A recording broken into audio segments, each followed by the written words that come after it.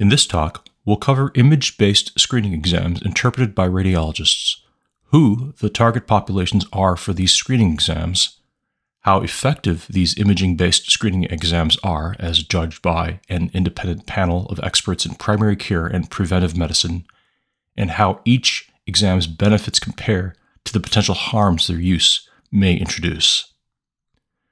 Half a century ago, two healthcare leaders commissioned by the World Health Organization issued a set of principles and criteria that guide screening decisions. Is the condition we're planning to screen for important? Is the natural history of the condition understood? Can the condition be treated? Does the condition have a latent or early symptomatic phase? Does a suitable test exist for that latent or early symptomatic phase? And is the test acceptable to the population? Do the physical resources exist to diagnose and treat the condition? And is the cost feasible? Is there an agreed policy on whom to treat as patients? And will the effort be a continuous ongoing initiative going forward? Ideally, we proceed with screening if the answer for each of these 10 criteria is yes. A good place to start is the first criterion these are the top causes of death in the United States.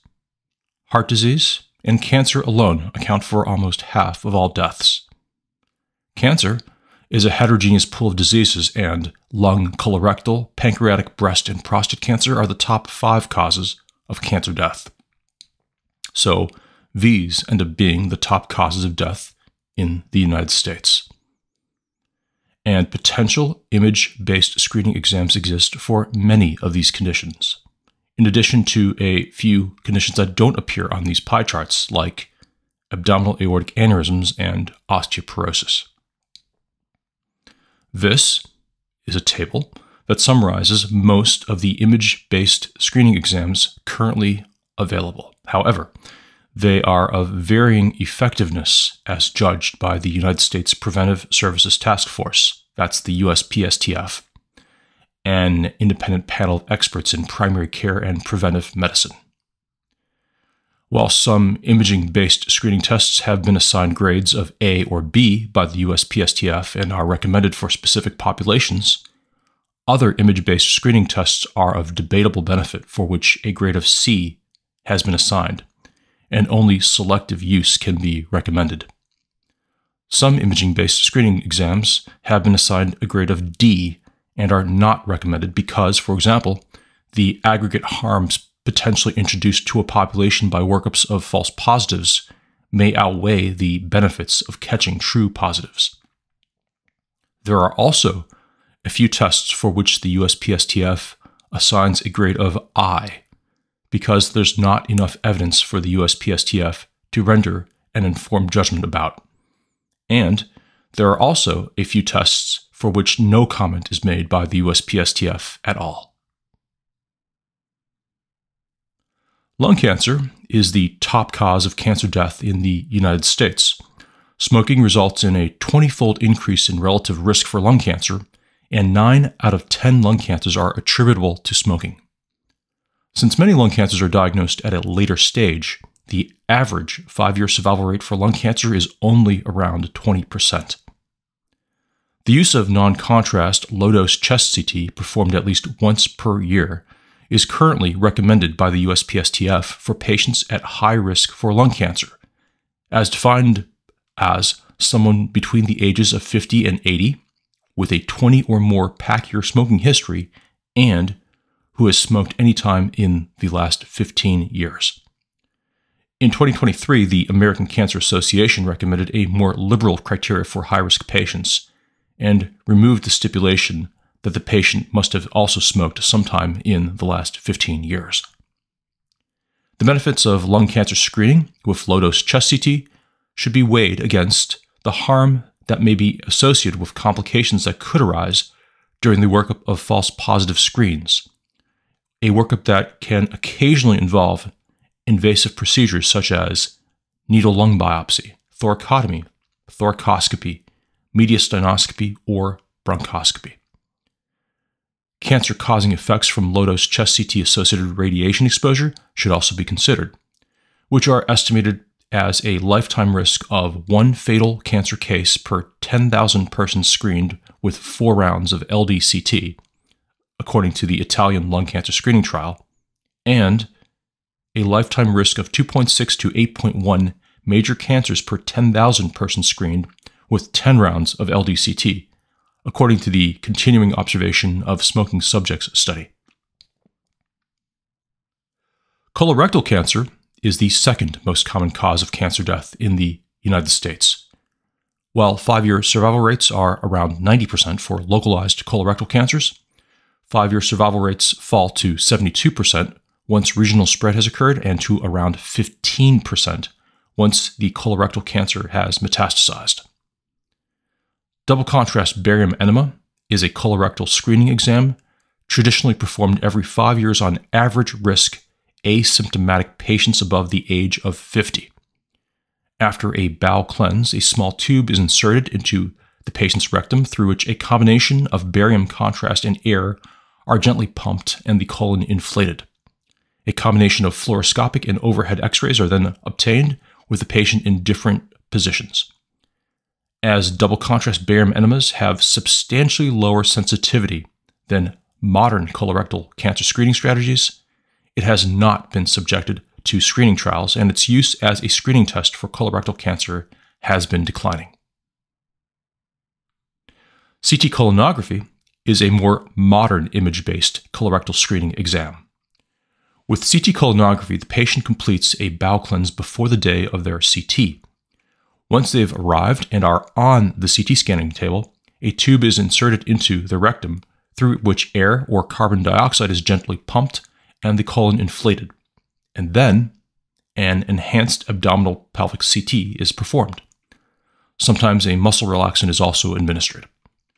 The risk of bowel perforation with CT colonography is between 0 and 6 incidents per 10,000 procedures. The cancer causing effects from CT colonography associated radiation exposure have not been well quantified. Colorectal cancer screening using CT colonography is generally performed at five year intervals and it's currently recommended by the USPSTF for average risk asymptomatic patients 45 to 75 years of age.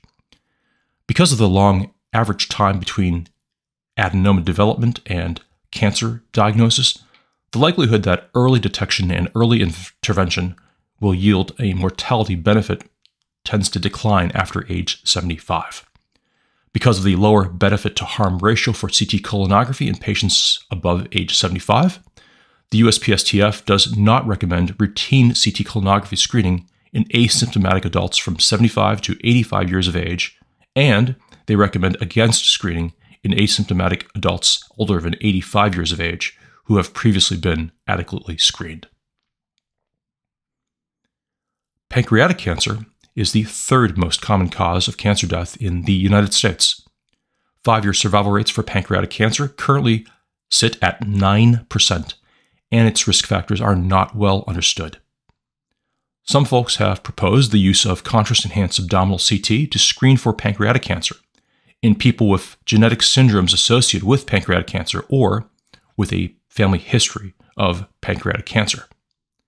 However, the USPSTF has thus far found no evidence that screening for pancreatic cancer or treating screen detected pancreatic cancer improves disease specific morbidity or mortality or all cause mortality.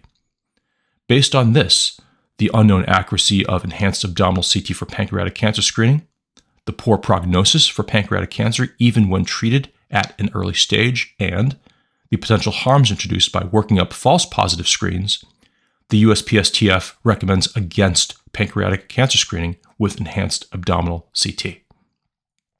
For similar reasons, the USPSTF also recommends against pancreatic cancer screening with abdominal MRI and MRCP.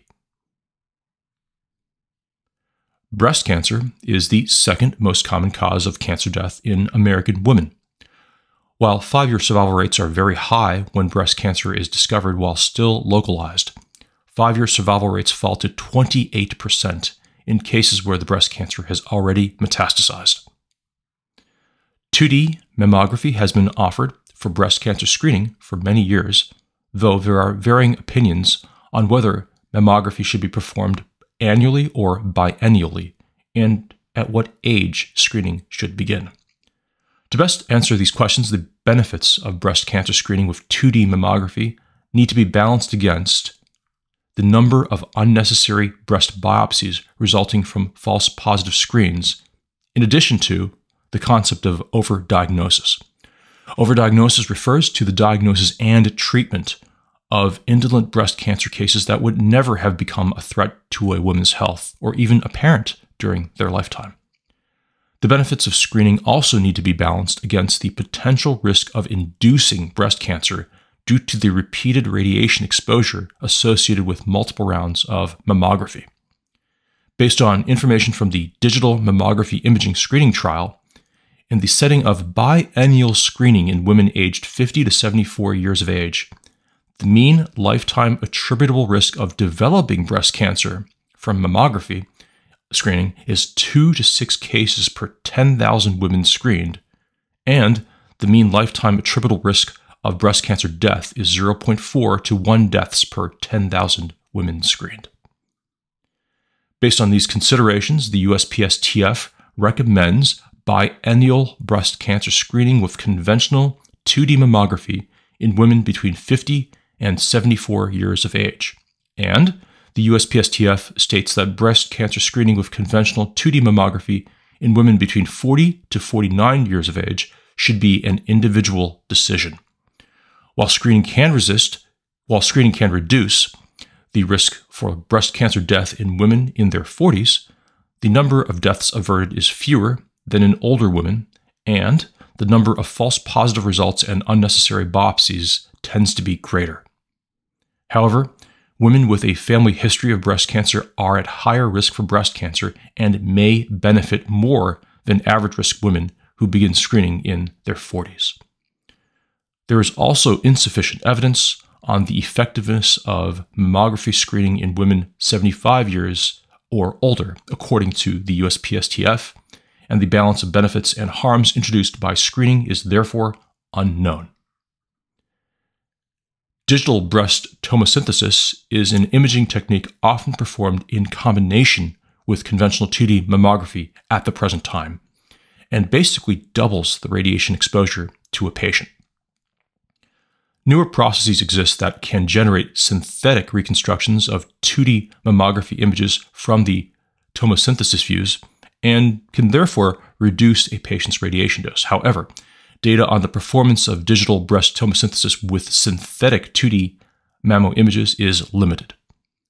This limited data does, however, suggest that digital breast tomosynthesis increases breast cancer detection rates and reduces recall rates for additional imaging or testing when compared with conventional 2D mammography alone.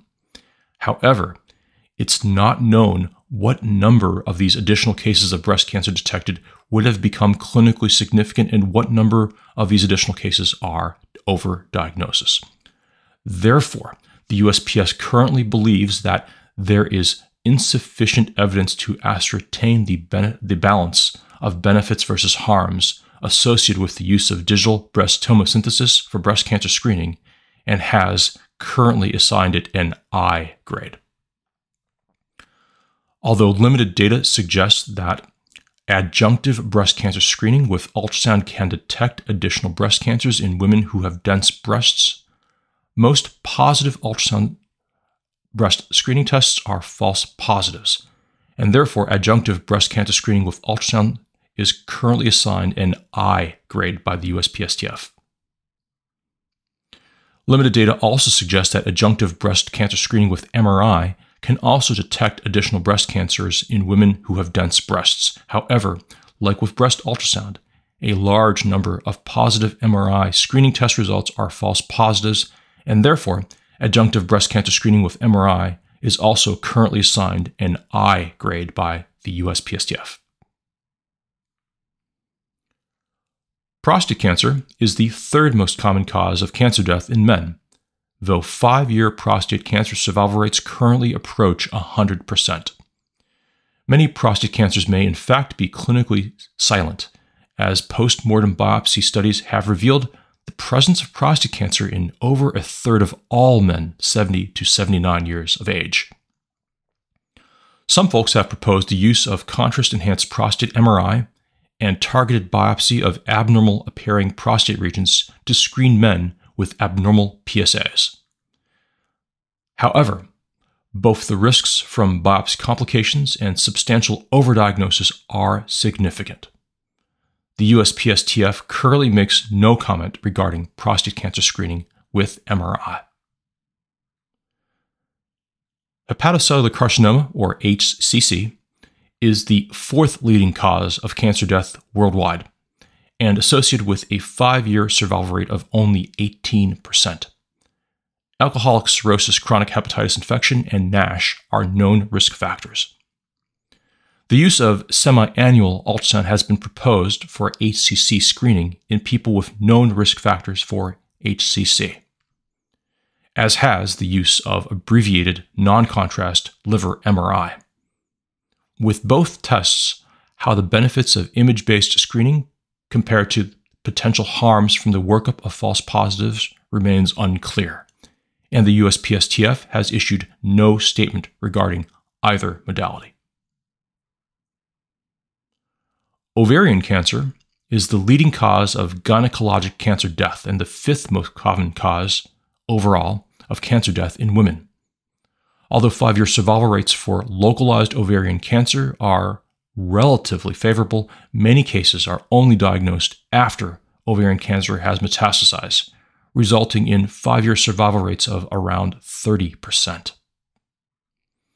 Annual transvaginal ultrasound has been performed, sorry, annual transvaginal ultrasound has been proposed for ovarian cancer screening in both postmenopausal women and in women over the age of 25 with a family history of ovarian cancer. However, three large, good quality studies have all found that annual screening in asymptomatic women not known to be at high risk for ovarian cancer had no effect on ovarian cancer mortality. Ovarian cancer screening is currently associated with significant downsides. Workup of false positive screens may sometimes require the removal of one or both ovaries and fallopian tubes, and the surgery required is associated with a not insignificant risk of postoperative complications. For these reasons, the USPSTF recommends against ovarian cancer screening with transvaginal ultrasound. Thyroid cancer is a more uncommon cancer compared to the ones we've discussed so far, and associated with a 98% five year survival rate. That said, some folks have proposed the use of annual ultrasound for thyroid cancer screening in people with known risk factors for thyroid cancer. However, the benefits of thyroid cancer screening remain unproven. Although the potential harms from thyroid cancer screening are not well understood, neither are its benefits no studies directly comparing the outcomes of screening versus no screening exist, and no randomized control trials comparing early thyroid cancer treatment versus observation exist either. As a consequence, the USPSTF recommends against thyroid cancer screening with ultrasound at the present time. Osteoporosis is an indirect cause of death in a large number of Americans. Present in over 12 million people over age 50, osteoporotic hip fractures are a feared outcome. Occurring mostly in women, osteoporotic hip fractures cause substantial morbidity, not to mention loss of independence and quality of life. In fact, about a quarter of patients with an osteoporotic hip fracture die within one year. Fortunately, convincing evidence exists that drug therapies can reduce fracture rates in postmenopausal women. Measurement of bone mineral density using dual energy X ray absorptiometry or DEXA scans of the lumbar spine and hip or of the forearm and heel are common imaging based screening tests for osteoporosis. Treating screen detected osteoporosis has been proven to provide at least moderate benefit in avoiding fractures, and the potential harms associated with pharmacological osteoporosis treatment are relatively small. As a consequence, the USPSTF recommends osteoporosis screening with DEXA imaging in women aged 65 and over, and also in younger postmenopausal women with similar fracture risk. There is insufficient data on the relative benefits versus harm, however, for the use of DEXA screening in men.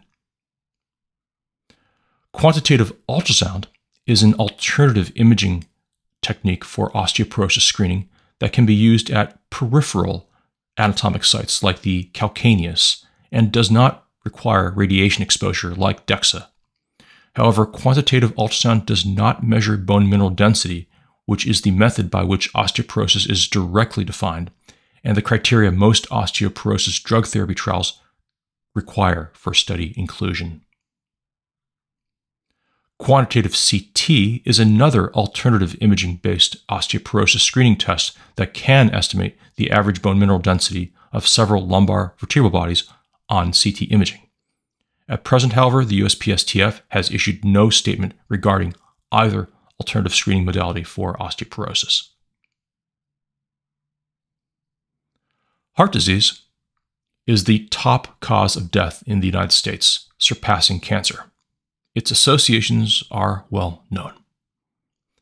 For the last few decades, there has been substantial interest in using coronary calcium CT scoring as a screening tool to help improve outcomes in patients between 40 and 75 years of age with an intermediate risk for a major adverse cardiovascular event.